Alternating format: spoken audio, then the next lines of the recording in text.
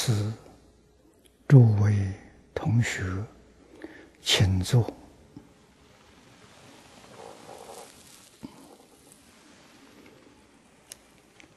请大家跟我一同皈依三宝。二舍里存念，我弟子妙音，时从今日乃至命存，皈依佛陀、两祖中尊，皈依大摩利欲中尊，皈依僧伽注中中尊。二舍里存念，我弟子妙音。时从今日乃至命存，皈依佛陀、两祖中尊，皈依大摩利欲中尊，皈依僧伽诸众中尊。阿舍利存念，我弟子妙音，师从今日乃至命存，皈依佛陀、两足中尊。皈依大摩利欲中尊，皈依僧伽诸众中尊。请看《大经可注》第五百九十五页，啊，五百九十五页。倒数第二行，从当中啊看起。又曰：“是故唱阿弥陀三字，灭无量重罪；念阿弥陀一佛，成无宗佛智。”前面我们学到此地，这两句话。很重要啊！那么像这样的句子，在这一部集注里面，我们看到很多次。也就是说，时时刻刻在提醒我们：啊，世间人没有一个不求智慧、不求福报。啊，智慧福报是属于果，果必有因。啊，没有因哪来的果呢？什么样的因能感到这样殊胜的果报？啊，世出世间一切的因呢都不能跟念阿弥陀相比。啊。念阿弥陀这个因无比的殊胜啊，得的利益了没有边际啊，能灭无始重罪，能成无宗的佛智啊，无宗是。没有止境的福报跟智慧啊！真正明白了，真正搞清楚了，那个人肯定是一分一秒都舍不得空过啊！为什么呢？一秒钟可以念一句阿弥陀佛了。那这一句阿弥陀佛，是灭无无量罪业，成无宗佛智啊！我们世间人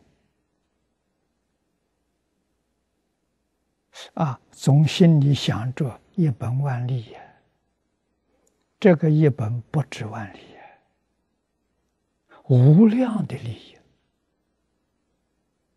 啊，他为什么不念？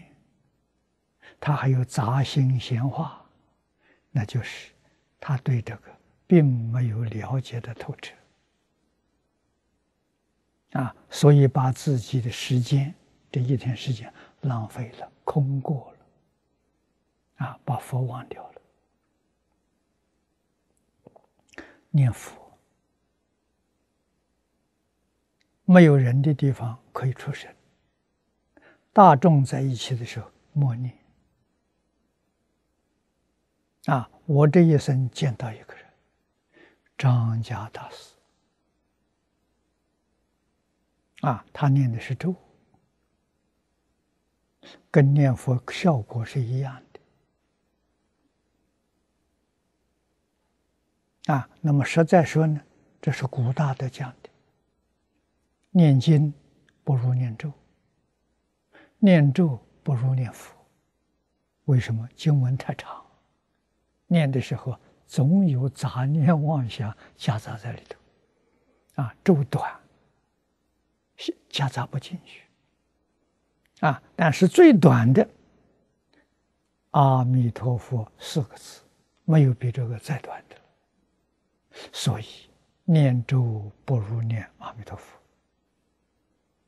啊！古大德说的经验之谈呢，啊，不是随便讲的，我们一定要了解啊，一遍一遍的在读。一遍一遍的在温习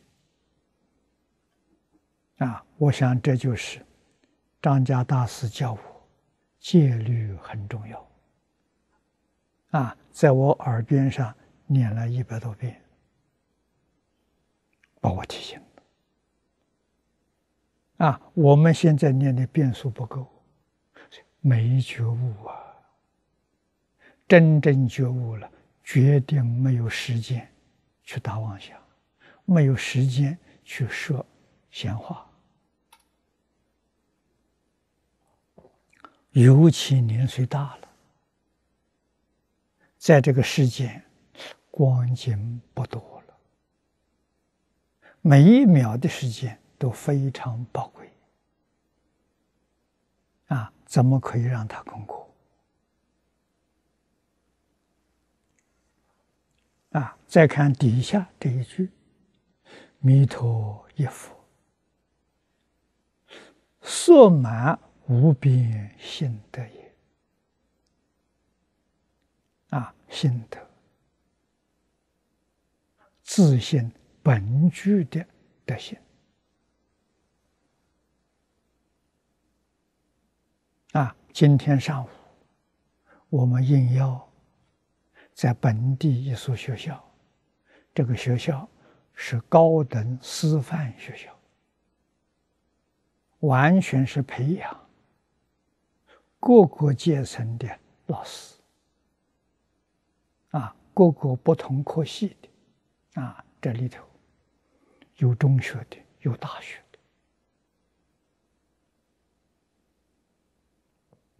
的，啊，非常难得。啊我们遇到这个机缘，啊，我就联想到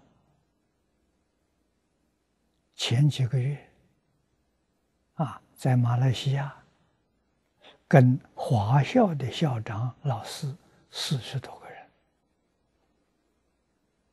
啊，做了一次报告，啊，我写了个提要。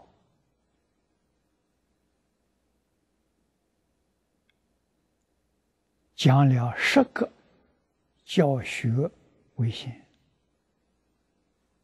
啊，那么这一次这个几次巡回讲演是一个题目，由此可知他们重视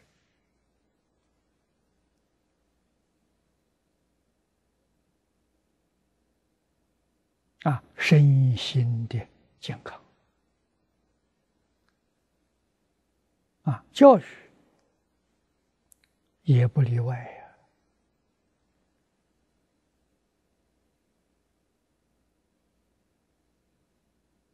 啊如何修身？如何修行？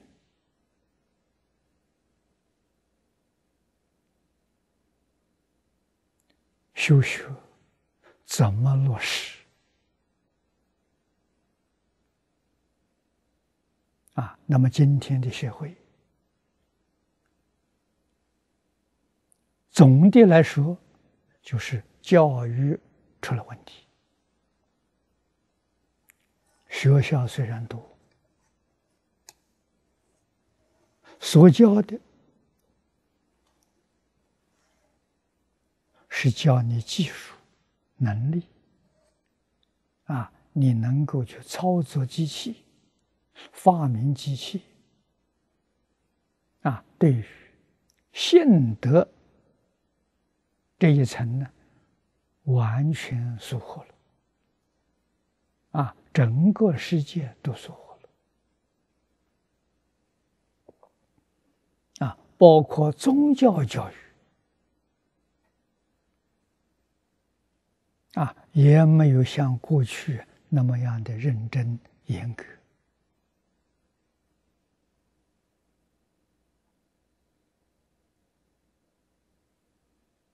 啊，那么这是所有从事教育工作者啊，宗教的信徒是属于教育工作者啊。我们一面向佛菩萨学习，向祖师大德学习，一方面呢，也是教教化初学的同学。要帮助他，啊，帮助他建立信心，建立愿心，深入进藏，达到啊破灭开悟的目标。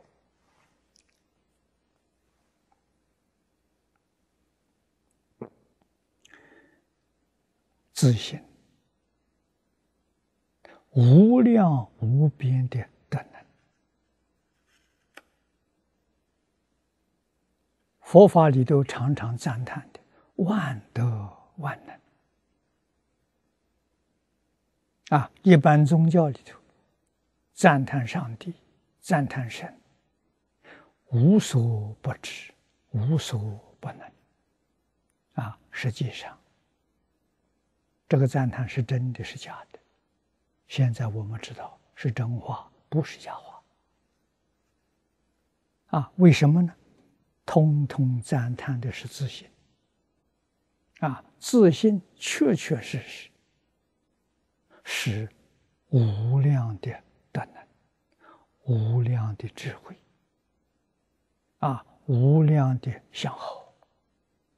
佛在华严上如是赞叹。那么自信是每一个人通通具足的。不是佛专有的，啊，这一点，佛法跟一般宗教说的不一样，一般宗教认为那是上帝是神专利的，啊，凡夫没有，啊，佛法不是这个说法，佛法说凡夫跟佛没有两样。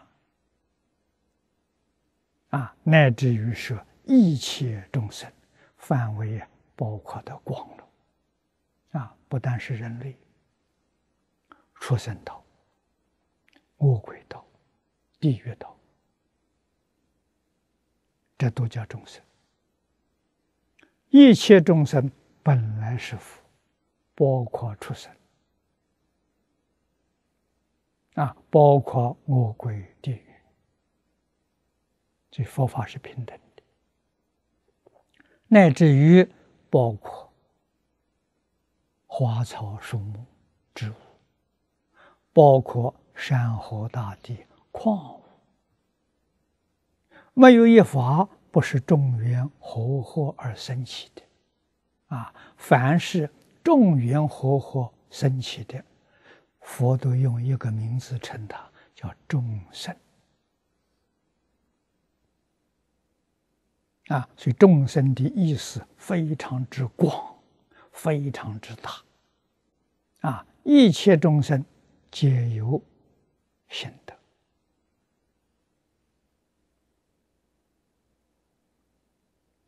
啊，心就是我们常讲的真心、这不是妄心，真心。啊，真心流出来的是心德，这个德是德用。啊，真心用在生活上，流出来的心德。啊，在佛法里面，最明显的一切心得里头，啊，你看佛教的旗子，提出六个德，叫六波罗蜜。啊，佛教旗子就从这来的。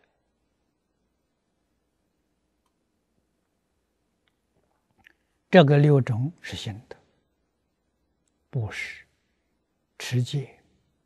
忍辱、精进、禅定、般若啊，除这个之外，心得经典上说的很多啊。那么这些祖师大德把这个六波罗蜜提出来啊，作为。佛门的一个标志，啊，把它做成一面旗帜。看到这个旗帜，就想到啊，佛法无边心德啊，这代表大臣啊，成为。全世界统一的一面旗帜，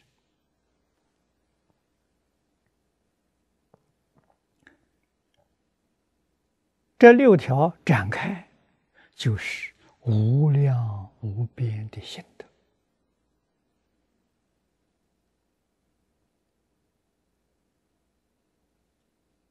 啊，在大乘里面，佛提出这些纲领。教导我们简单明了，帮助我们学习，帮助我们成就。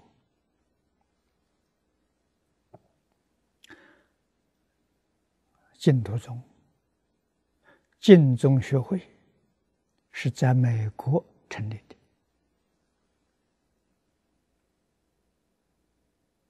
啊。我跟黄念老见面，第一次见面的时候，啊，他劝我，净宗学会这个名词是夏莲居老居士提出来的，啊，提出来了，啊，他的想法也跟大家说明白了，没有成立，啊，在国内没有成立。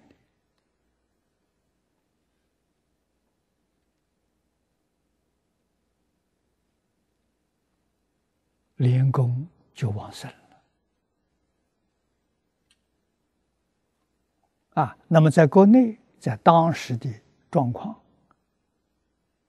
啊，要成立金宗学会是很不容易批准的，所以他就把这个事情告诉我，在海外成立啊。那个时候，我在美国，在加拿大。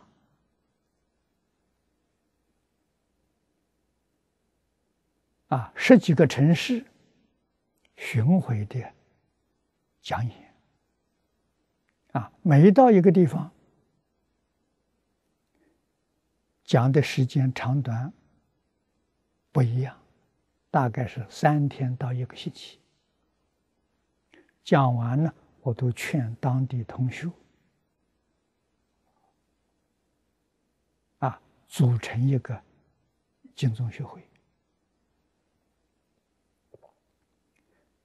大概两年当中，美国跟加拿大就有三十多个金融学会。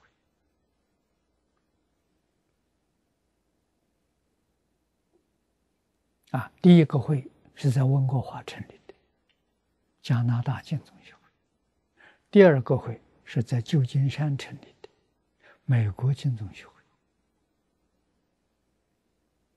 啊，美国建宗学会成立，我写了一篇缘起，提出净宗同学行门五个科目啊，不能太多，太多就太烦了啊。这五个科目，这是行门。换一句话说，我们的落实，的真干，不是说说就算了的。啊，这五个科目，第一是敬业三福，啊，这一条重要。啊，这是世尊教导我们，十方三世。一切菩萨修行成佛，都离不开这三个原则。啊，这三个原则太重要了。啊，成为三福，我们求求福啊，学这个就有福报了。如果相违背了，那你就晓得我没有福啊。啊，福是要自己修的，自信本有的福报啊，透不出来，要明心见性才透出来。没有见性啊，自信里面东西啊一样都拿不出来，我们都用不上，全靠修德。啊，信德，譬如我们呀，银行里面存钱。你存了有几千万，有几亿万，口袋一分钱都没有，上街去买一点东西，人都不给你，你会饿死。那为什么？那是信德拿不出来啊，拿不出来就靠打临时打工啊，啊，那叫修德。所以修德很苦，要懂得修什么，跟信德相应。啊，这个就对了。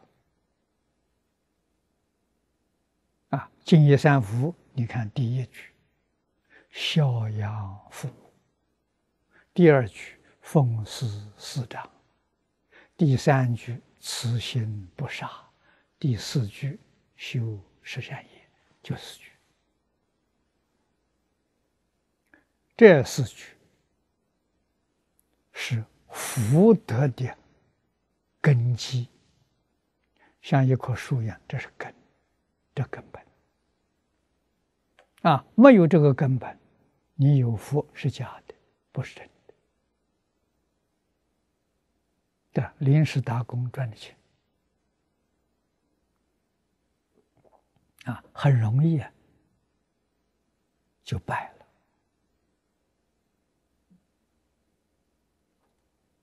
啊。那么这一条。就是我们最近这十几年来，提倡儒释道三个根，就在这第这一句：孝亲、尊师，落实在《弟子规》。啊，孝亲尊师没有落实，那是空的。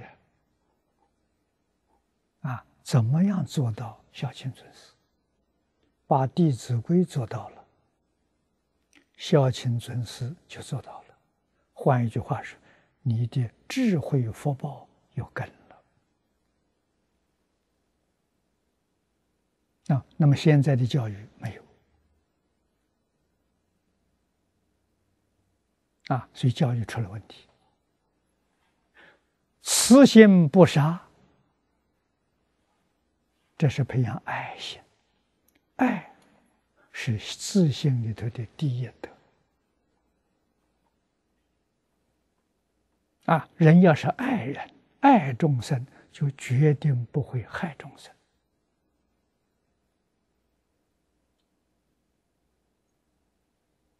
啊。那么现在人没有爱心，头一个，他不自爱，他对自己他都不爱，他怎么会爱别人？啊，所以他不爱他的父母。老师就更不必说了。啊，现在做老师的人很辛苦啊，不像过去，过去做老师很光荣啊。老师虽然清苦，啊，收入很微薄，啊，但是他受整个社会大众的尊敬。啊，听说他是教书的，古时候不叫教书，夫子。啊，他是一位夫子，夫子就是现在讲的是教学的，学校教育，在社会上地位就不一样。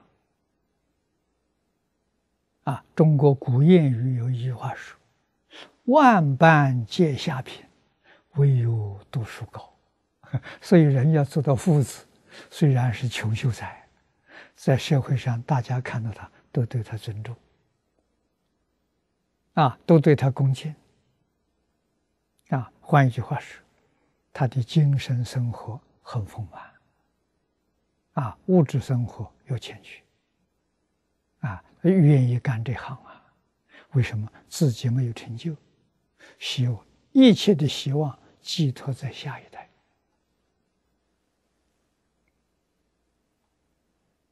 啊，所以古时候老师头一个条件呢。是品德，为什么呢？身教啊，学生跟你学，看你有没有做到，你没有做到，学生不相信。啊，你通通都做到了，学生相信。啊，就像《弟子规》，老师要做到，父母要做到，啊，父母老师没有做到。叫小孩做到是不可能的事情啊！小孩也会想：你叫我做，你自己没有做，你是骗我的，这不是真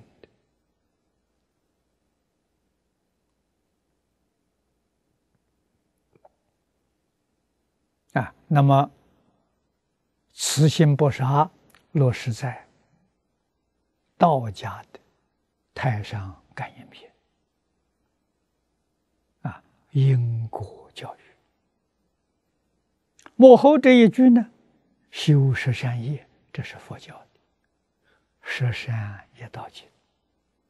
所以我们用这三个作为修行的根本、修行的基础啊，《弟子规》《感应篇》十善业，要从这里下手，要真正做到。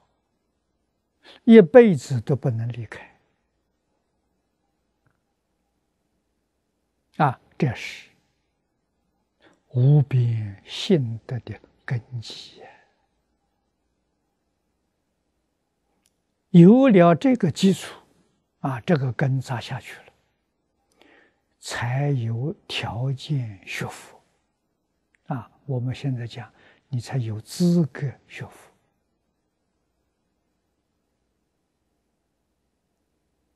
啊，佛法是建立在这个基础上，没有这个基础不能入佛门。啊，入佛门出了家了，假的，不是真。啊，世间人承认你，佛菩萨不承认。啊，天台大师把这样的人称之为名字。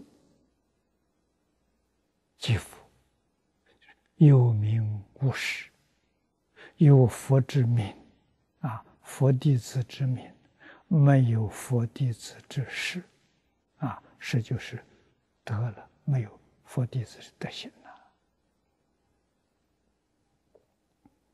了。啊，今天佛教会衰到这个样子，什么原因？就是有名无实，我们自己。没有认真去做啊，没做到啊，能说不能行啊，行真难为什么？没有人信了，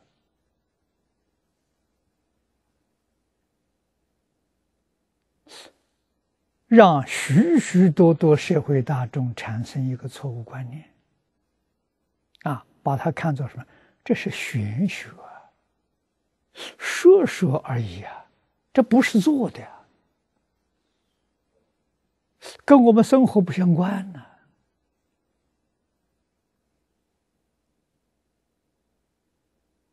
啊，变成这个东西，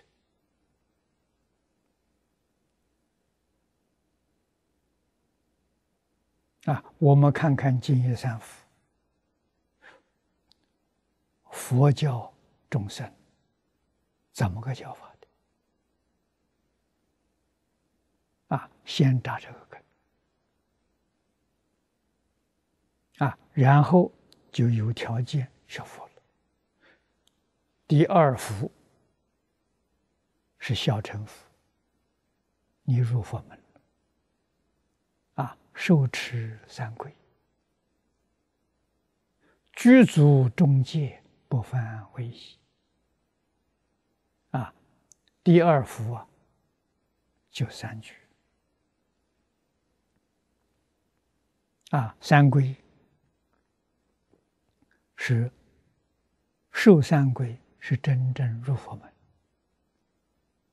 啊！我们受了三规了，有名无实，假的啊！你得真正做到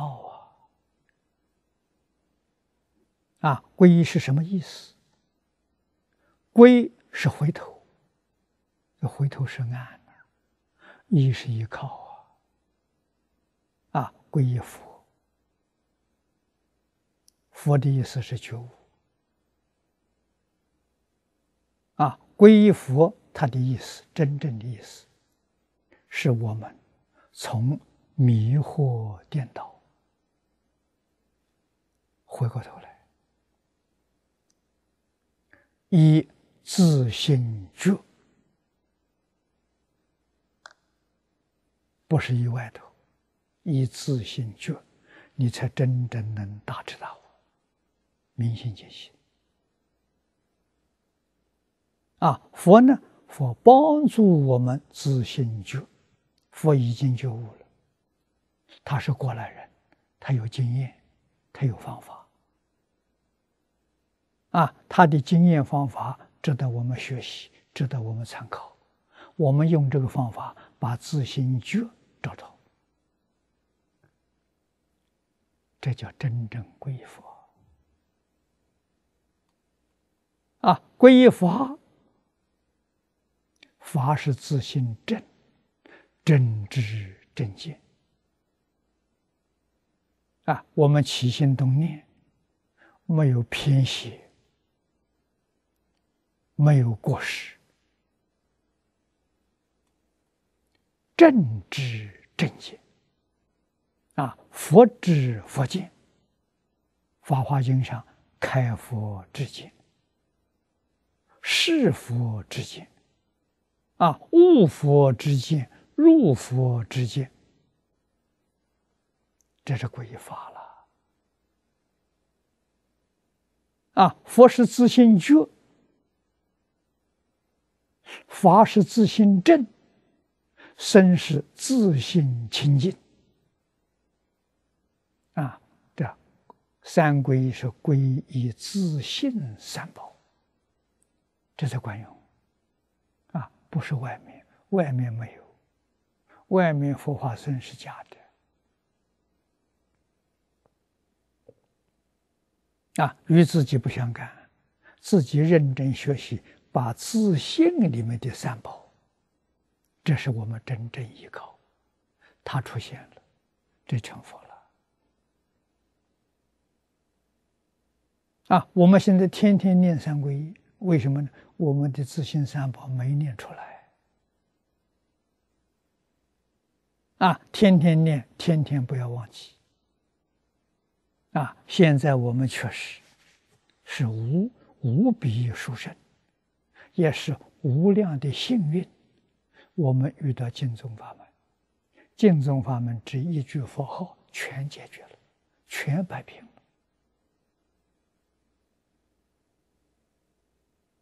啊，自心觉、自心正、自心清净，都在这一句佛号上。啊，一句佛号，所以弥陀一佛，速满无边心得，是快速啊，满是圆满了。啊，往生西方极乐世界就真的了。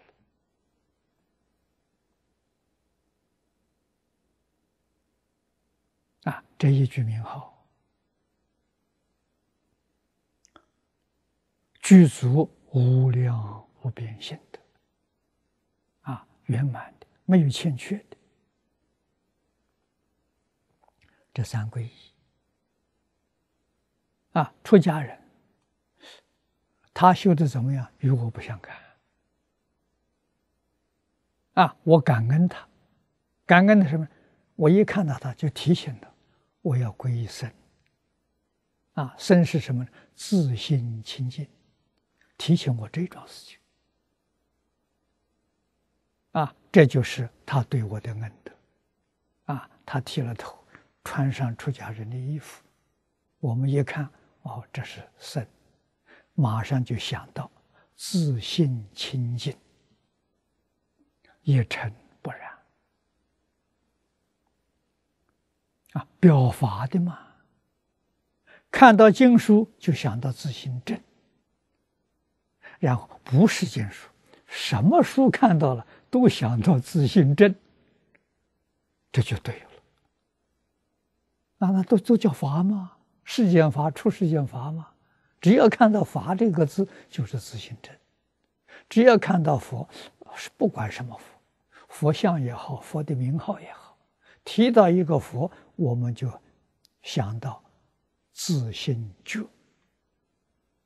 啊，他提醒我们，所以这个住持三宝啊，泥塑、木雕、彩画的佛像、菩萨像、阿罗汉像。都有提醒我们的作用。我们供奉他，不是把它当做神明看待，不是向他求福求慧，向他祈祷，不是的。供养他是他提醒我，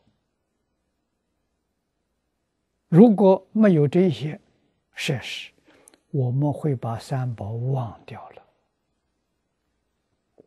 早晨起来，家里有个佛堂，供奉着佛菩萨形象，一看到的皈依自信三宝的念头就起来，作用在此地啊！遇到麻烦了、烦恼了，啊，妄念起来了，邪念起来了。啊，怎么办？看看佛菩萨的像，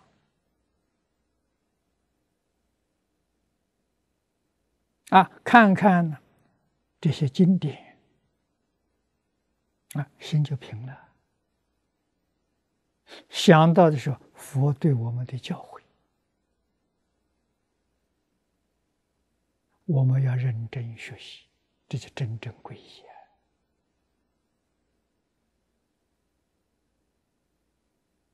啊，接着要落实，落实在持戒上。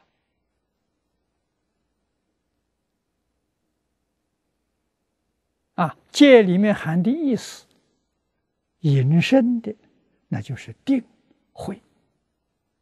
啊，但是定慧啊，没有在里头。啊，只提到戒，戒定慧是一体的。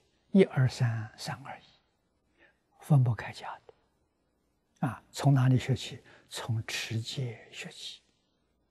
啊，持戒、五戒、十善，啊，沙弥十戒，啊，出家比丘两百五十条戒，啊，要学，每一条戒搞清楚，佛为什么制定这条戒？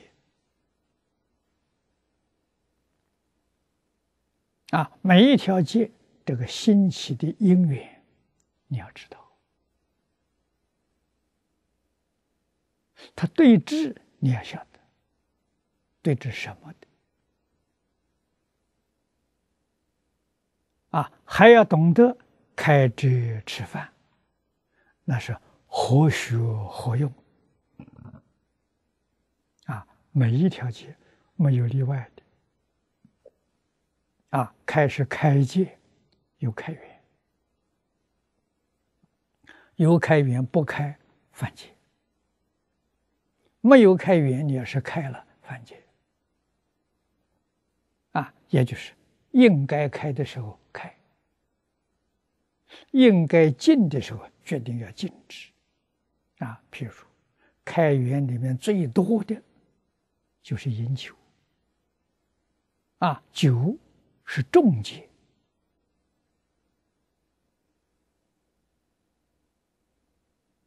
五戒里头，杀盗淫妄酒。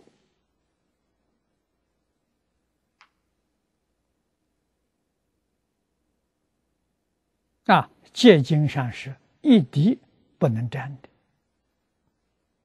啊！但是年岁老了，血液循环差，酒能够帮助你血液循环，啊，那这就有开源。啊，什么样的年龄呢？七十岁以上，啊，你有这个需要。把它当做药用啊！每一餐饭可以喝一杯酒。我们在初学的时候不知道，看到老和尚每一餐饭喝一杯酒，很奇怪，也不敢问啊。以后到台中学经教，向李老师请教啊。我说我曾经见过一个老和尚。啊，我常常陪他一一起吃饭，他都有一杯酒。啊，这个老和尚，李老师认识。啊，那这是有开源的，啊，这他身体需要。为什么？他年岁太大了，那个时候大概有七十五六岁。啊，这个可以。那么再就是药用可以，中药里面。很多药是用酒做药引，可以用。啊，它是治病的。啊，那么还有一种呢，作为佐料用，料酒可以用。啊，我们明白里头一个道理，这个酒不会喝醉。酒这个戒，佛看的那么严重。就是酒醉乱性，会造杀盗淫妄啊！防止你不造杀盗淫妄，所以不准饮酒，是这么个道理啊！李老师跟我们讲《礼记》，《礼记》的注解。权威的注解是郑玄注的，汉朝，啊，汉朝大儒，啊，周礼、仪礼、礼记、三礼，他都有注解，这是研究中国礼的专家，啊，汉朝人，了不起的大儒，啊，他的老师是马融，马融也是一代大儒。汉朝历史《汉书》里头都有他的传，他是马融的学生，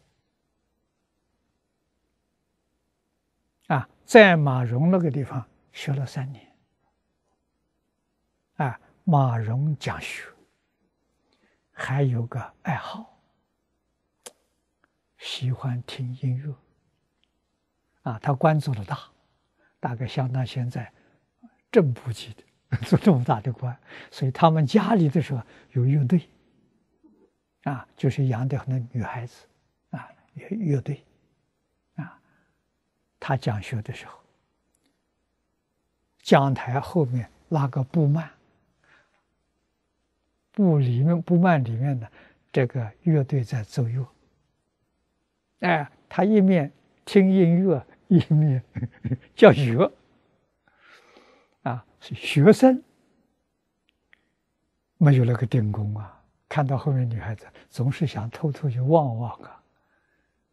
啊，可是他看到郑玄这个学生在那里三年专心听讲，对于后头的女乐从来没有看一眼。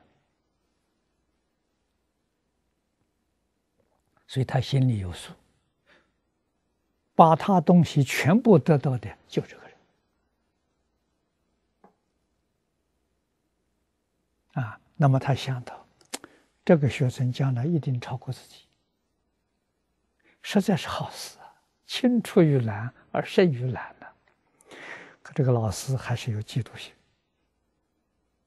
啊，这个嫉妒。就造成了罪业，啊，他想把这个学生呢害死，啊，学生学成了，啊，要回去了，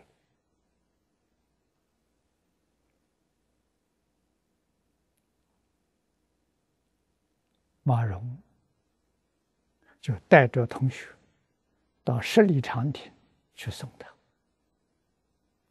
每一个人敬他三杯酒，一百个人三百杯呀，三百杯的典故就从这来的，啊，就这么说，把他灌醉。啊，他走的时候，路上的时候，他埋了有杀手，就害他，知道他从哪一条路走。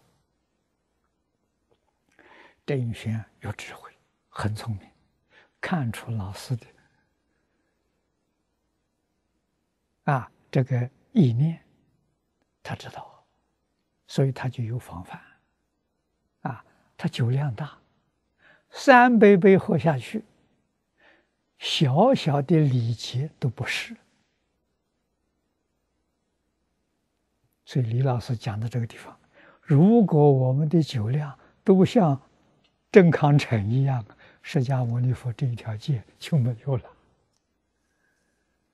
那，他喝不醉吗？啊，他不会出事情吗？啊，酒这条戒叫遮戒，啊，是防御的，本身没有罪。啊，那么他走的时候，分开之后，他走另外一条小路走了。他跟大家宣布从哪条路走的时候，他不走，走了岔路走，所以完全安全。回家了，啊！历史上有这么一个故事，啊，所以人要有戒，要有定，要有慧，啊！郑玄在马融的脚下，可以那个时候佛教还没到中国来。啊，那么他学的戒定慧三学，跟佛法讲的没有两样。啊，他守规矩，啊，求学专心在学，求学上。啊，老师喜欢听音乐，他完全精神贯注在听讲。啊，没有理会的，还有音乐在接在演奏。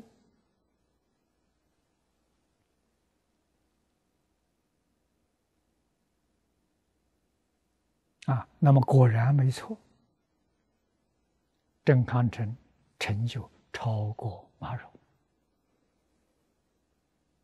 啊，权威的著作就是三黎的著述，一直流传到现在。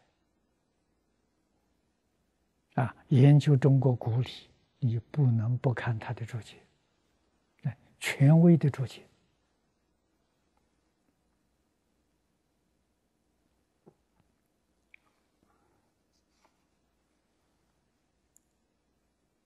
啊，所以这个戒有开斋吃饭，啊，一定要懂。为什么开呢？啊，为自己有病可以开，治病。啊，为利益众生的一定要开。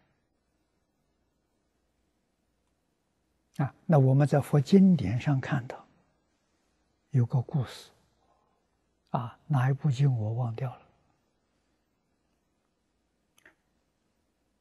经律一响，发愿助灵可以查得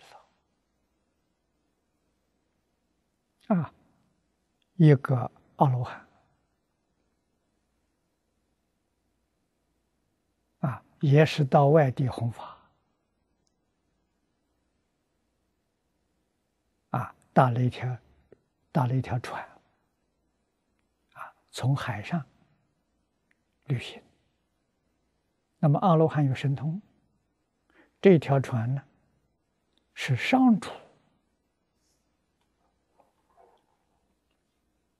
等于说他们用来运输一些财物的。商主，就是我们今天讲的企业家，啊，生意买卖赚了不少钱。这一船里头是金银财宝，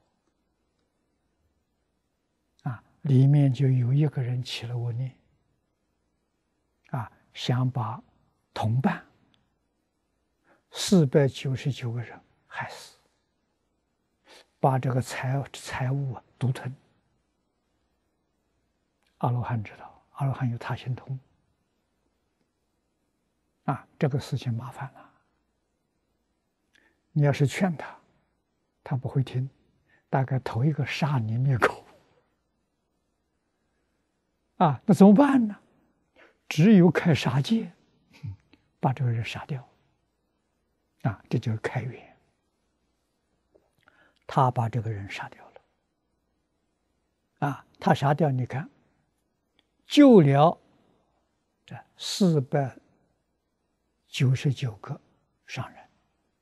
救了他们，救了他们的命，保住他们的财产，也救了这个起恶念害人的人。为什么？他如果真做成功了，他的罪是阿鼻地狱，是无间地狱。现在被阿罗汉杀死，他的东西啊，他没有这没有做成，罪就轻，等于说把阿鼻地狱把他提提拉出来了，所以两方面都救了。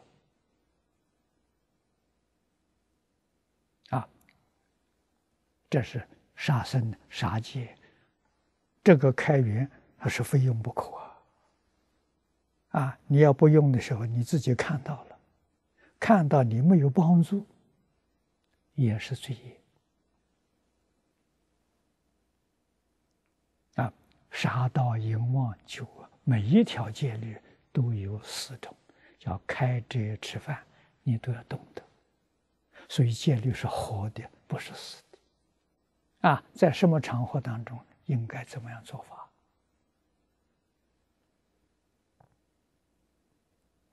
啊，这是不能够不知道的啊。所以五年学戒，不但要懂得了，要养成习惯。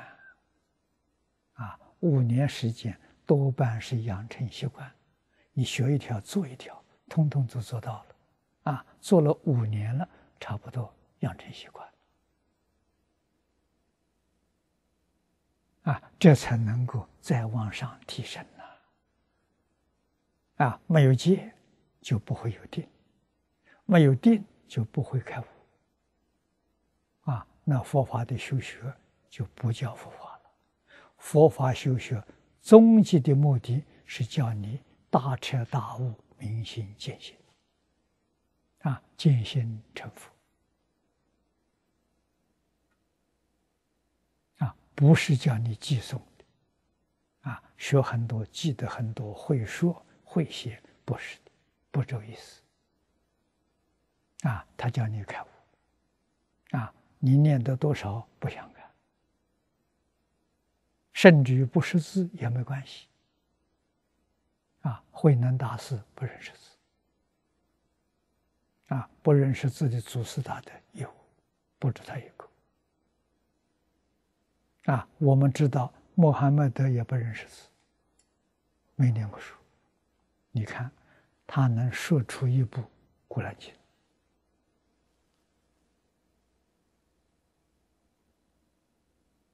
啊，自信你的智慧！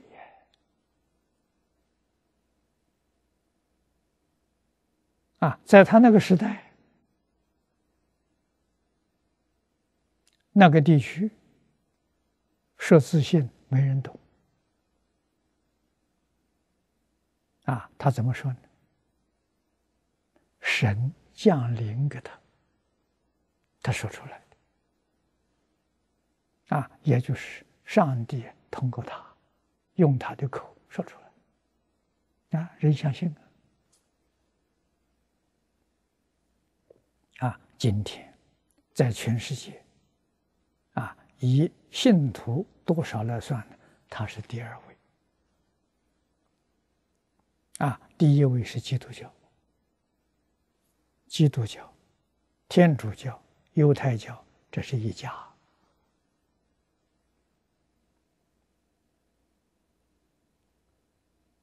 啊，这三个教的信徒加起来，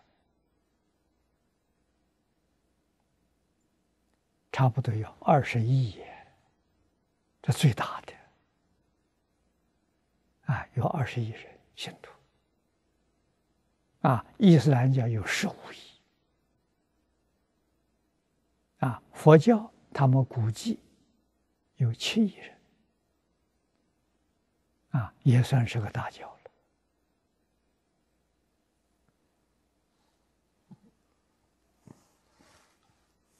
啊，那么这些宗教，我们现在都了解，最初创教的教主，通通都是。有大智慧，有真正的德行，啊，个个都是伟大的社会教育家，啊，所以汤恩比说的好：“人类的文明从哪来的？从宗教来的，先有宗教。”啊，后有文明。换一句话说，文明是宗教的产物。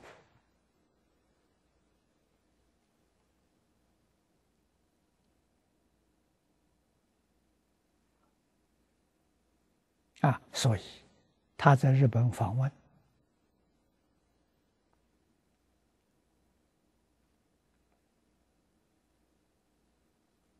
谈话记录啊。写成了一本书，啊，这本书里第四章就是讲的宗教，啊，宗教，人类之必须，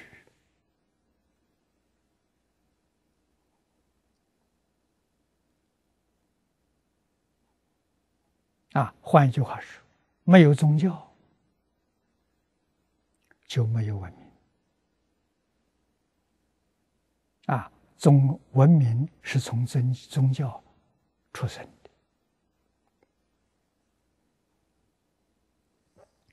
那么今天宗教出问题了，啊，问题出在哪里呢？出在戒律。啊，佛法讲教、理、行、果。啊，对于教理有人研究，没有人真干。啊，行是戒律，所以没有人真过。啊，清凉大师将华严分为四分：信、解、行、正。要依照这个标准的话的时候，那佛教就没有了。啊，佛教就灭了。为什么今天没有信佛的？那个信靠不住啊，不是真心的。啊，真心的人一定有行，那是真心。他没有心，也就是说他连十善业道都做不到，啊，三规做不到，无戒做不到，他没有心，没有心就是没有心。啊，早年张家大师教我。一个检验的方法，啊，就是你学的东西是不是真懂了？我们学一遍以为我懂了，学两遍我我我懂得不错很多了，不是这个标准。标准是你所学的，你有没有落实到生活？落实到生活，你是真的懂了；没有落实到生活，你要反省，你并没有懂。啊，这个对我一生帮助非常之大。啊，为什么呢？读书人最容易犯的毛病，就是以为我懂了，叫强不知以为知。啊，这是读书人的通病，啊，古人也不例外。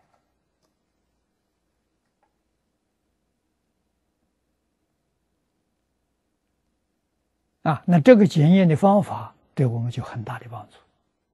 只要我还没做到。我就知道没真懂，你譬如讲，我们今天念的这一句，念阿弥陀三字，灭无始重罪；念阿弥陀一佛，成无宗佛智。我们懂了没有？好像是懂了，其实没懂。为什么要真懂了？这还得了！我每一秒的时间，我都这，我都不肯浪费。那就叫真懂了啊！一天到晚还杂心闲话，念的几句佛几句佛号，这不是真懂。真懂的时候，分秒必争啊！决定不会浪费一分一秒钟的时间。我这一秒钟成就我无量无边的福报。啊，哪有时间跟你讲闲话了？这真懂了，所以说真干的人就真懂了，不干的人没懂啊。啊，张家大师这种这个教诲对我的利益太大了。啊，就用这句话检点，是不是真的明白了？真搞清楚。啊，那么这个经是不是真懂了？啊，我这一次是第十三遍，前面十遍是讲无量寿经，没有讲注解。啊，这后面三遍是讲注解，啊，连经注解一起讲。啊，是不是全懂了？没有，为什么呢？遍遍都有新的意思出来，说明佛经这个意思无尽无量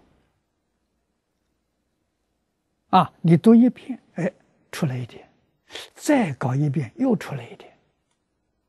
啊，永远没有止境的，这是世间典籍没有的。它是活的啊，其味无穷啊！啊，理事深广没有边际啊！这个是佛经就称之为宝啊！为什么？它从自信流出来的，世间典籍是从阿赖耶识流出来。从意识流出来的，所以它有范围。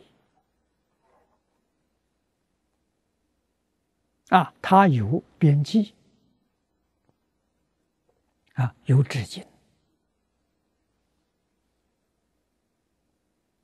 啊。如果是现在人的文章，都从烦恼习气里面流出来的。啊，他东西一看一遍就就懂了，不要看第二遍，第二遍不会有新意思。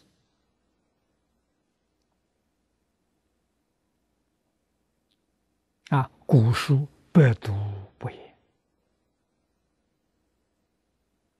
啊，它的有深度啊！啊，佛经更是没有边际，从初发心，一直念到成佛，都念不厌。啊，有这么大的摄受力量！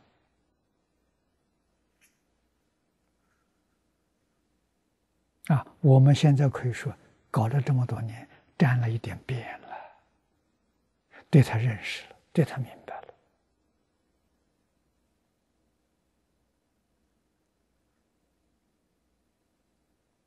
啊，这古人所谓的“不怕不识货，就怕货比货”。佛的经典跟世间典籍，啊，我们中国四库全书一比，佛经味道浓。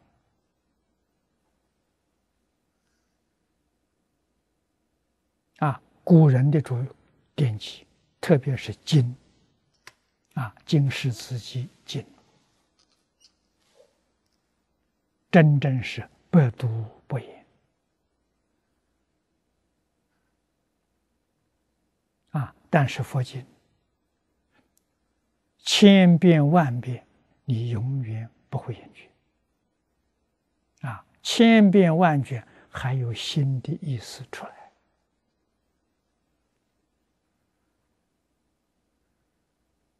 啊。价值在此地，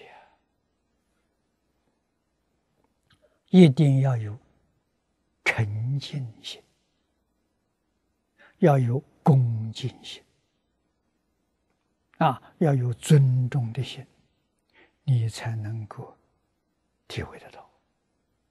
啊，心浮气躁，不但你读不懂，听也不懂。啊，甚至听到没有感觉的欢喜，没有感觉的有受用，一边听了，下一次再不听了。佛经我听过，佛经我看过了，啊，不值得再看第二遍。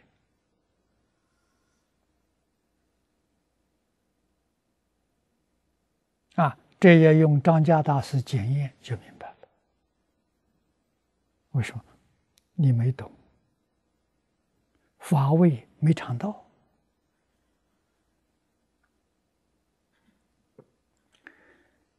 我们继续往下面看。以上密室之说，顿开诸佛密藏。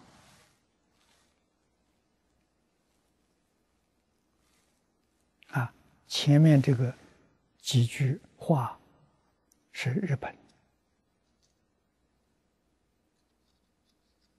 古大德所说的，说的非常之好啊，让我们感触到顿开诸佛密藏。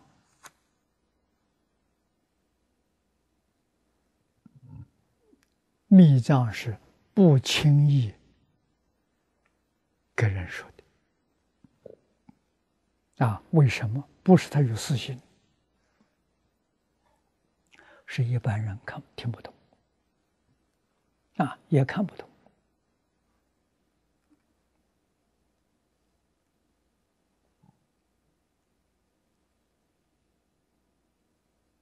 啊。我们遇到了。啊也在学习几十年，才看到，啊，看到这个文，感到非常惊讶，直显直接，没有弯曲，直接显示持名一法，涉盖。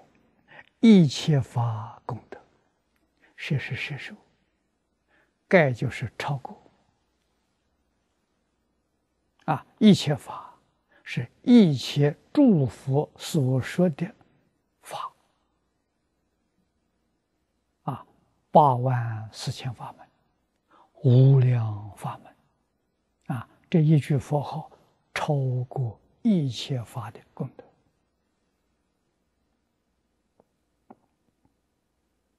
啊，专念弥陀，即可迅速。圆满自信本具之无量无边妙德啊！这真的不是假的啊！往生到极乐世界，就圆满自信啊，本具的无量妙德全显。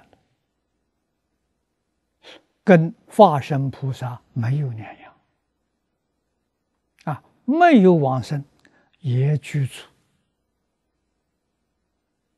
自信本具的妙德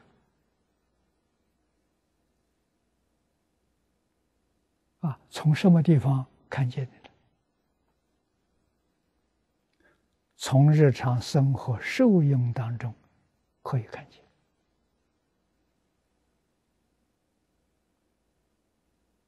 啊，特别是在现在这个时代，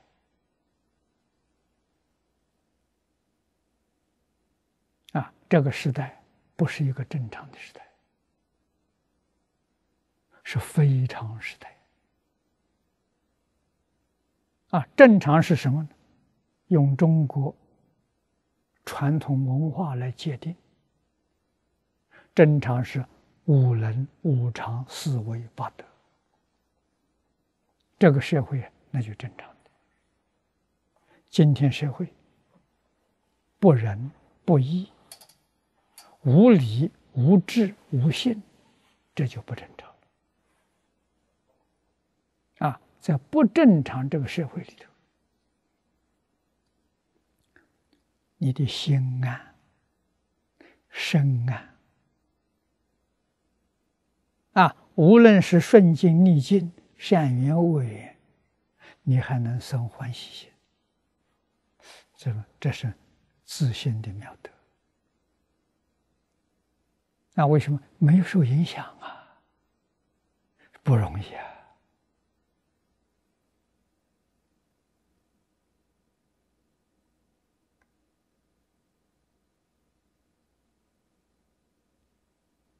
啊，与。修华严妙智。啊，望尽还原观里头的四德和相应，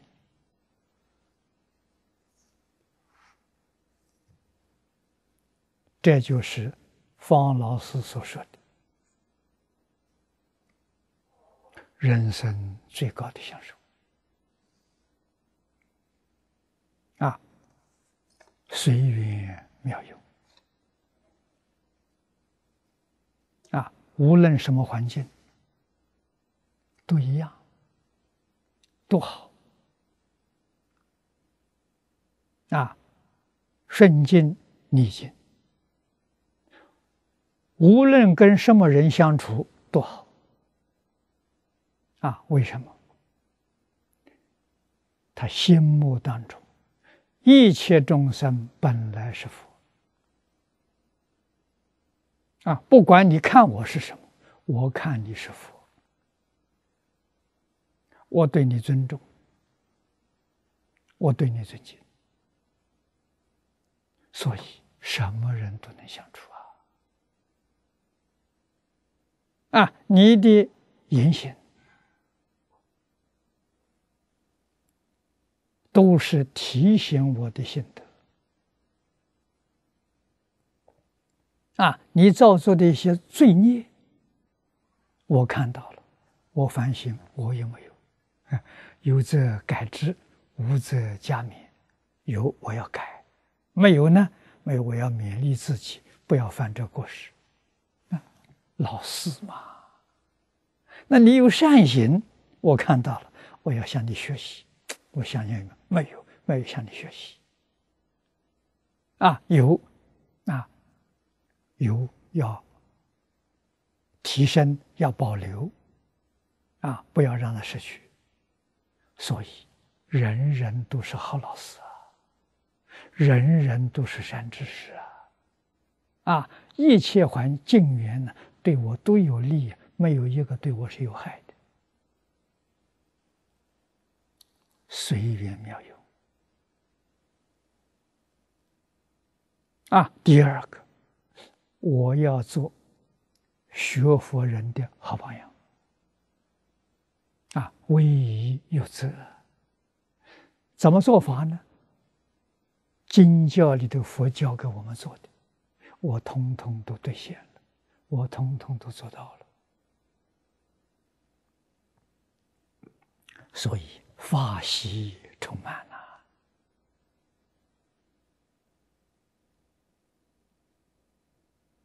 啊，用念头去转变境界，一切法从心想生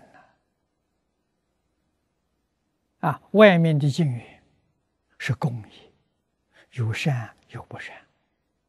啊，那我自己用纯净纯善，把善的加得更善，不善的都变成善。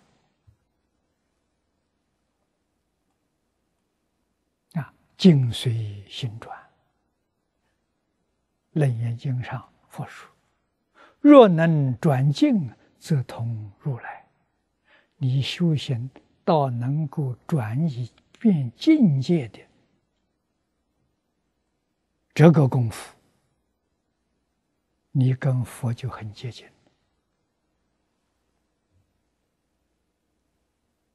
啊，这叫什么呢？这叫真正离苦得乐。啊，佛度一切众生。帮助一切众生离苦得乐，这个话是真的，不是假话。啊，苦乐是果报，因是什么呢？因就是迷悟。你觉悟了，你所得的是乐；你迷惑了，你所得的是苦。啊，佛以种种善巧方便。帮助我们破迷开悟，迷破了，苦离开了。啊，先前这个环境有没有苦？迷就有，觉就没有。啊，所以有跟没有都不一定呢。对什么人有？对迷的人有，对觉悟的人没有啊。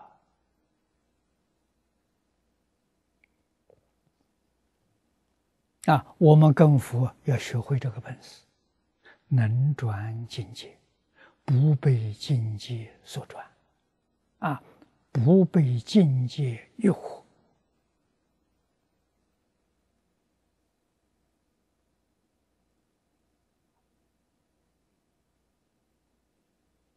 啊，那么这一边，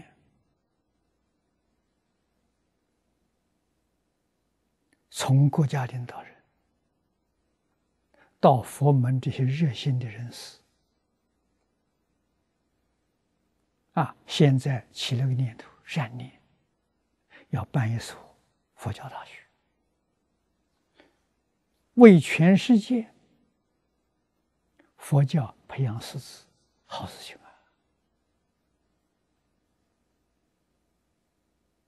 啊！啊，在这一桩好事里头，尽一份力量，无边福报。如果想在这个里面得一点好处，自私自利，造无边罪业。同样这种人，看你起心动念，看你的言语造作，啊，你一切为功，真为正法救助，真为救度众生，这个功德多大？啊，起一念私心，搞名闻利养，那就是无间地狱罪业，都在一念呢。祸福无门呢，为人自找啊啊！看你起的是什么心，动的是什么念头。啊，这是一桩大事，啊，世间第一等的大事，一个善念第一等的福报，一个恶念第一等的恶报。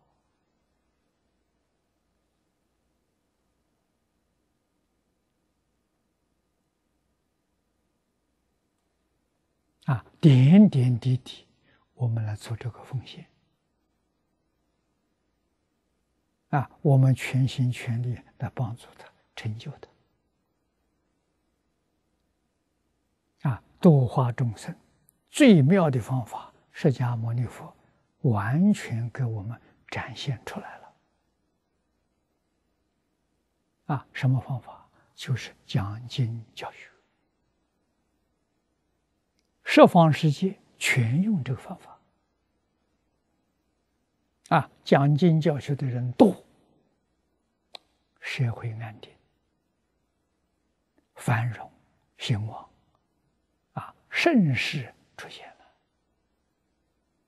啊，你看看中国历史，哪一个朝朝代盛世，讲经的人都几百人。这都是有名的，历史上记下来，啊，不是少数啊。讲经的人没有了，这个世间人苦啊，啊，社会动乱，灾难太多，没人讲了。为什么会这种现象出现？讲的人多。听的人多，觉悟的人多。想做的不好的事情，想想哎，不该做，算了，别做了。啊，社会是这么安定的，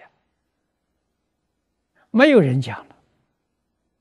啊，越迷越深。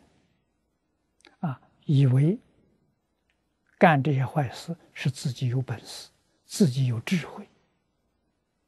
啊，别人做不到，我能做到。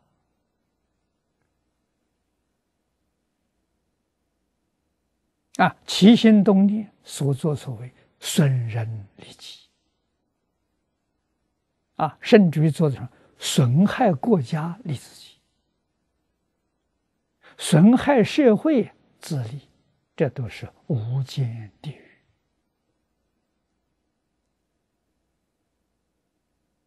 啊，这个例子很多，中国外国，你都能看到。啊，历史上有记载。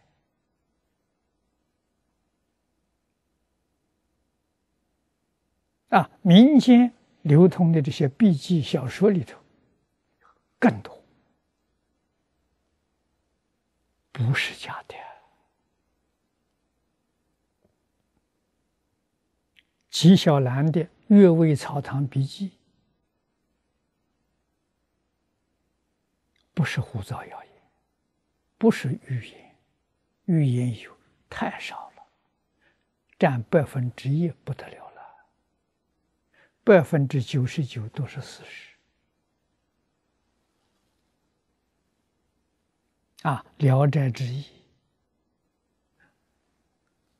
我都认为都是真的，啊，绝对没有虚构的故事，通通讲的。善因善果，恶因恶报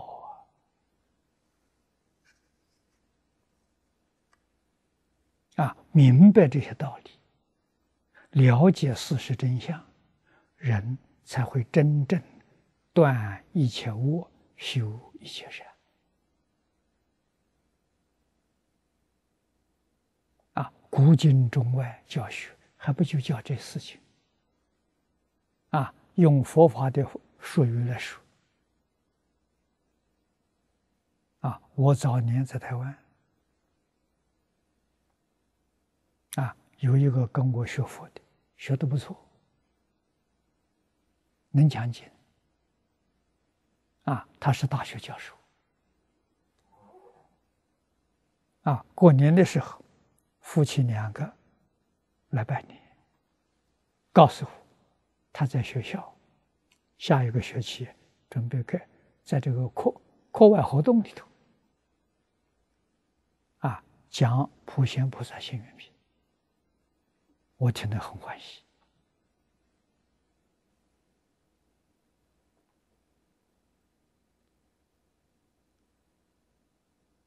啊，那个时候，台湾大学生学佛风气很盛。我提了一个问题问他：“啊，我学了几年了，不错了。我现在问你一句话，你呢，用一句话答复我，不要啰嗦。释迦牟尼佛当年在世。”讲经说法四十九年，他讲的是什么？啊，你用一句话回我，啊，两句话我就不听了，用一句话。他想了五六分钟，想不出来。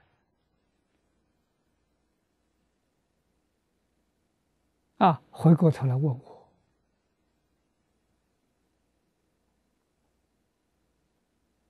我给他说四个字：“诸法实相。”你想想这一句行不行？能不能把世尊四十九年所说一切法了，通通包括了？他想也行。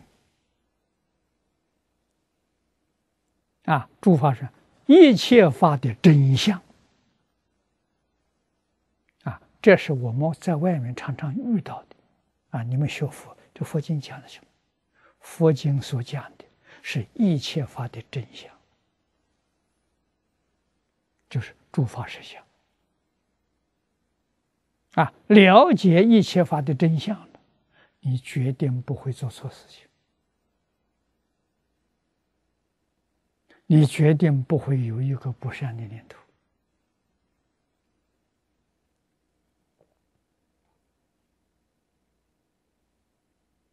啊这才是真正破迷开悟啊，真正离苦的路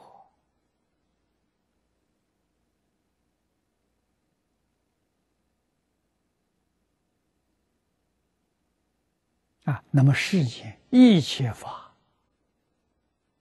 跟佛不能比的，就是佛说出真相，他们没有能说出来。啊，他们说出来有相似的真相，里头还有疑问，唯独大乘经里头斩钉截铁，让你丝毫怀疑都没有。啊，这种教学还得了吗？啊，所以障碍这种教学。都是无间地狱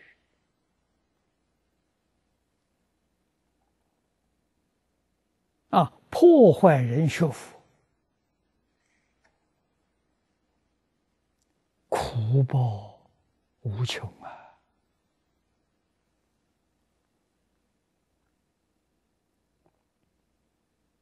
啊，那么赞助这个法门。啊，帮助佛法，这个正法久住，功德有多大？啊，无量无边的功德。我们遇到这个机会，要是不知道这个缘，通通错过了。啊，知道之后，自然晓得怎么做。啊，佛门同修有很多从事企业的，赚了很多钱，啊，来找我问我盖个大庙好不好？啊，盖大庙是什么？把钱埋在土地上，埋在地下，不起作用啊！啊，如果这个庙盖的富丽堂皇。很多人都起了恶念，都想来争取，啊，彼此来斗争，那造业了，啊，这个账会算在你头上啊！啊，你没这个庙，他们不打架了，啊，他不争了，你这个道场建在府里头，他来争了。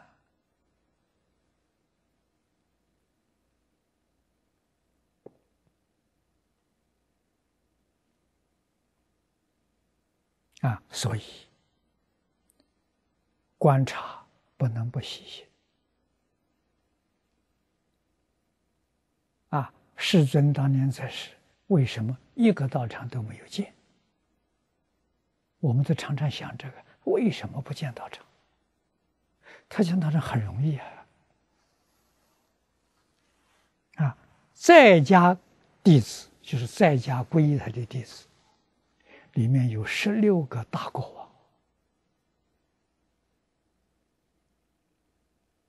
王，啊，他要建个道场太容易了，啊，这些国王、大臣、大夫、长者，谁不愿意给他做？啊，为什么不要？啊，跟他的这些学生，一千二百五十五人。每一个人心里头没有建道场这个念头，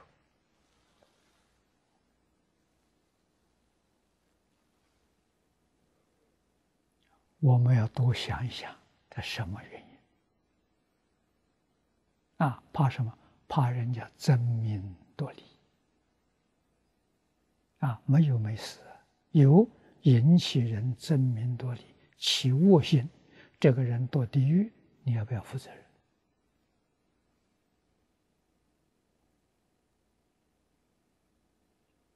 啊，常常被牵连呢，那也得要受苦受难呢，这何必呢？啊，所以佛做的很干净，没有。啊，讲修在哪里讲，哪里都可以讲。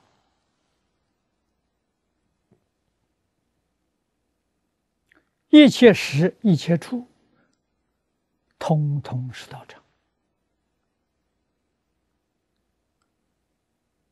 经典是这么讲的：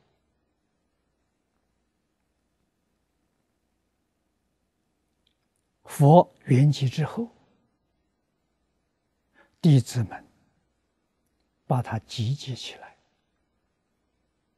整理出来，流通后世，成为经典。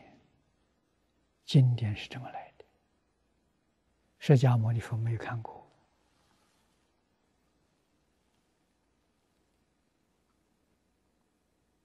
啊，阿难尊者佛讲，除阿难之外，我相信也有别人佛讲的，因为集结不是一次，历史上记载有四次的集结。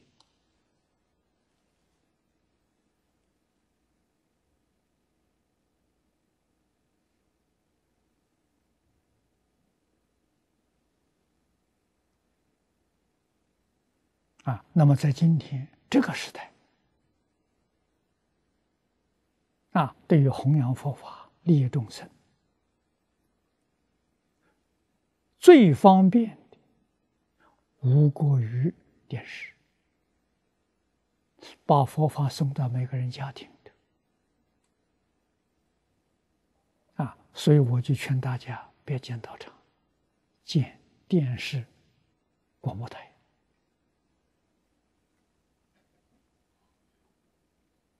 啊，那么电视广播台国家控制很严，没有想到台湾开放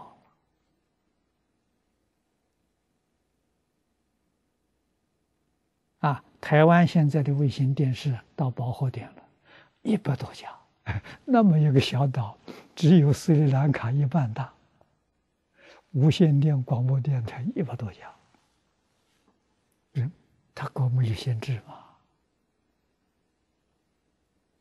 现在要达到饱和点了，啊！但是现在可以不必搞电视，电视成本太高。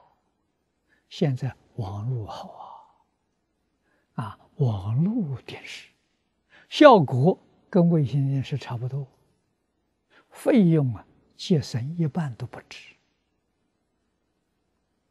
啊，这个也容易，啊也容易建立，啊成本很低，好，啊不需要用大的地方，我们在香港。就是网络电视啊，卫星电视是陈总他搞的。零三年元旦开播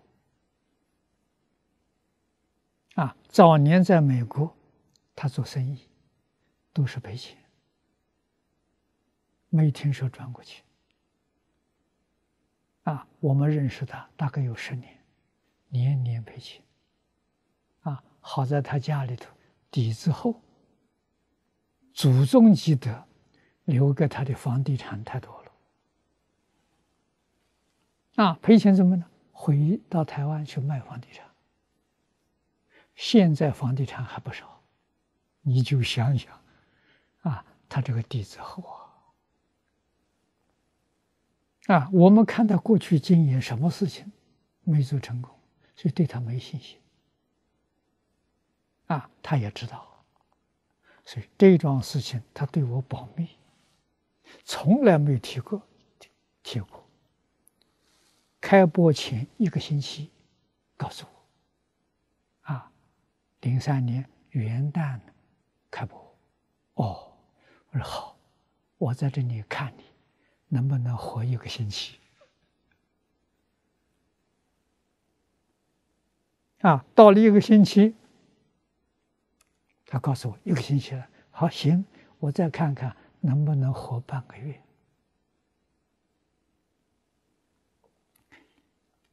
费用太高了，啊，这个我了解。我有几个同学在这个卫星电视台工作，啊，我了解。啊，居然一个月一个月。他还能做下去，啊，到今年十一年了，做成功了，啊，那么从这个地方呢，我们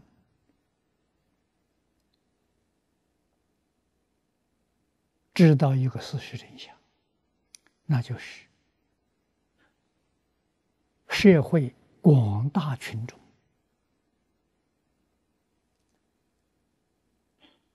喜欢看正面的教学的，大有人在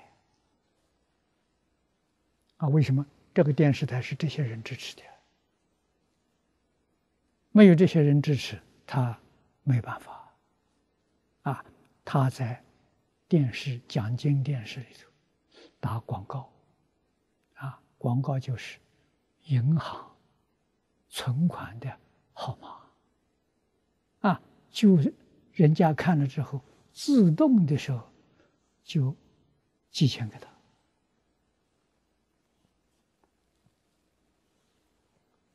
啊。那么他二十四小时都播我的讲解啊，等于是我专用的一个电视台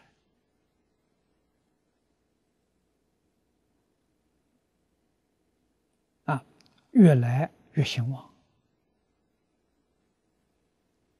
啊，不但有个华藏卫视，他现在还有个世界卫视，他搞了两个电视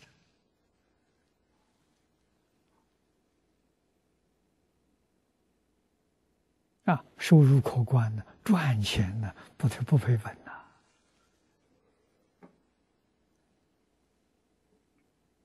啊，我在香港，凤凰。董事长刘长乐跟我是老朋友，每一天去拉广告啊，也苦不堪言呐。我有一天碰到碰到他了，我说我们那个电视台没有广告，哎，居然也能活下来！所以我就劝他了，你能不能播一些正面东西？啊，好的东西，端正人心的，这有人看，有人会帮助你，啊，不会让你关门，啊，但是什么很难相信，啊，那我们这个呃陈总那点做出榜样，啊，确实没有广告，但是那个。那个银行号码拨的次数太多了，我觉得有一点让人看到，好像有化化缘的这个味道在里头。啊，我就告诉他一定要减少。啊，人家真正想捐助你，一定会留意。啊，一天。播个两三次够了，不要播几十次啊！几十次人家对你印象不好啊！啊，不知道现在可能改了一点啊！我让他一天播三次，可能比这个还还要多次多几次，比以前少了一点啊，这都很重要。啊，我们相信这些热心的人士，喜欢看这个节目，都会支持。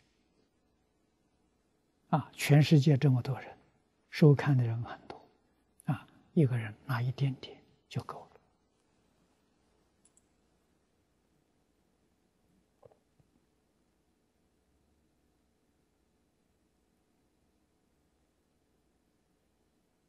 啊，那我们。我们自己用这个网络，网络跟他的卫星连线，啊，他可以看到我们网络东西，我们网络能看到卫星东西，现在非常方便。这个道场要好好的利用。不必见寺庙啊！啊，我一生不见寺庙，我害怕见寺庙。这也是早年还没有离开台中的时候，我还在台中学习。啊，台湾中部有几个比丘尼听我讲解。现在很欢喜，请我到他们道场去讲解。啊，我向老师报告，他那个道场叫禅林寺。啊，我看他这个庙门口的牌匾，我说好，我跟你讲禅林宝训，跟跟你这个道场相应。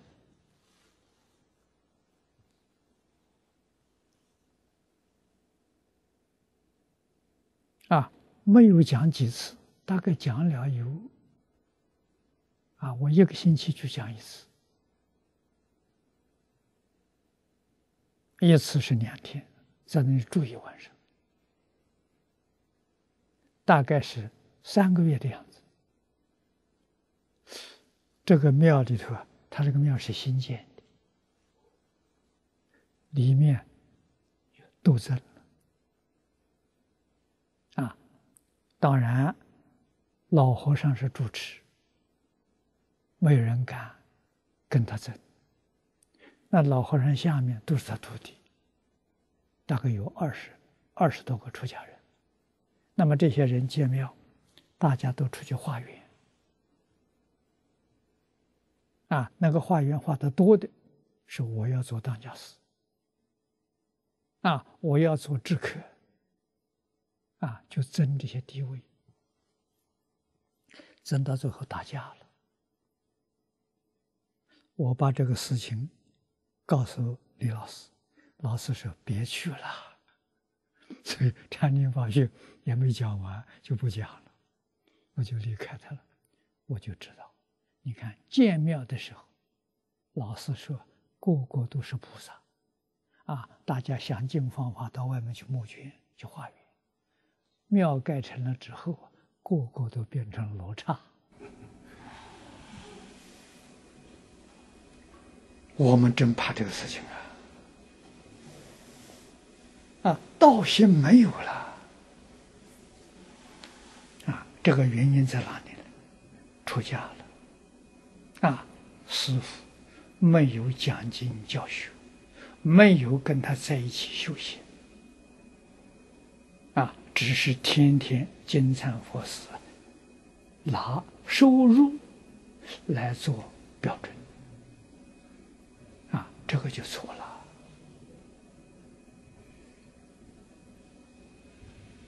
啊，那么像我见到的这种情形，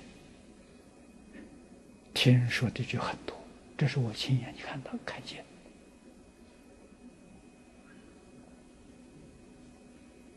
啊，所以我对这个事情就非常小心谨慎，真的不敢碰。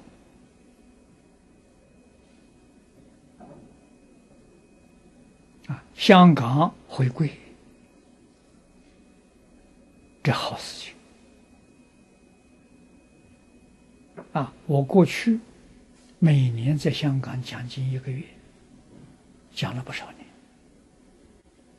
以后去美国，中断一段时间，啊，香港回归，我特地从美国回到香港来看回归，啊，遇到这些老同学、老听众，啊，这个法师，你好久没有回来了，啊，你为什么不到香港来？啊，他们给我算了七年，啊，七年没到香港，我说没人请我吗？哦，这大家马上就联络起来，就邀请。那时候我住在新加坡，说好，每个月来讲五天，就是在有一个星期，包括往返路程，啊，我住在新加坡，每一个月到香港讲一五天。啊，场地是租借的，啊，大概讲了三四年，啊，同学们发现想买一个道场，啊，属于自己的，这就是佛陀教育协会，就这么成功来的。啊，那么这时候各地的缘分都不一样。啊，这个协会成立了，成立一个董事会来管理，我就找到林子担任第一届的会长。啊，因为他是香港人，不找本地人呢，不容易立足。啊，香港这些老和尚我都认识。啊，那么我们在这个地方常住下来讲经，他们心里会不会很痛快？很难讲。啊，所以我还是住在新加坡。啊，也是一个月来住五天。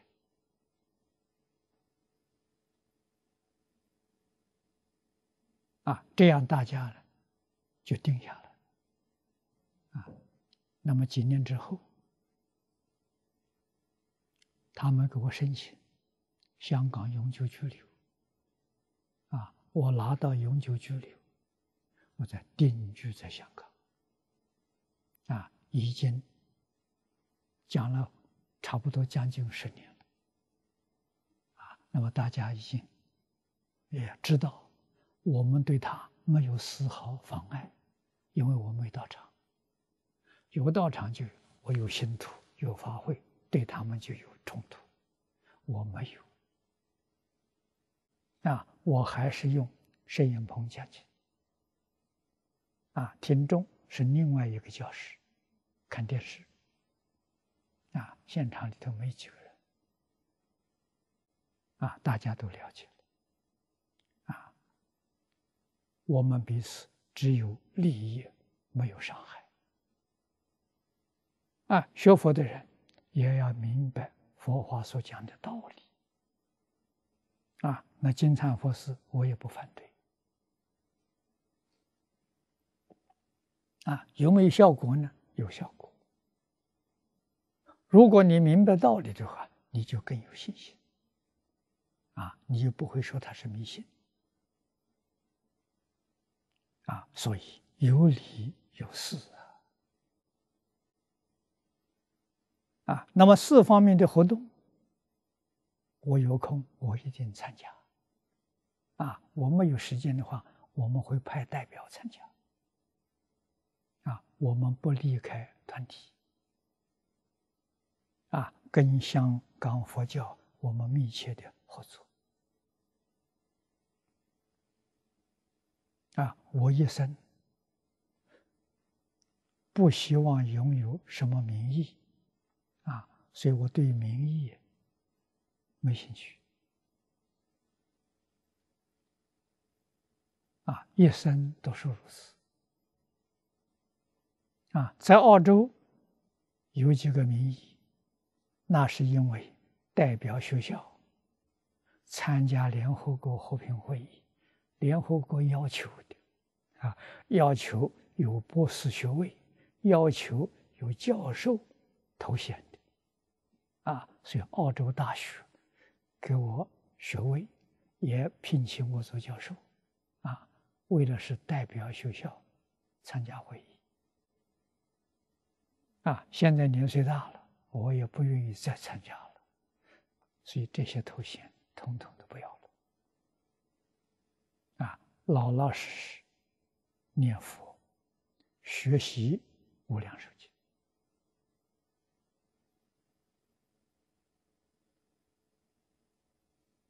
啊，跟任何人都是一家人。啊，真正落实。世尊在华严上告诉我们：一切众生本来是佛。啊，把佛陀的教诲认真落实，啊，一生就一个希望，一个目标，往生极乐世界。好，今天我们就学习到此地。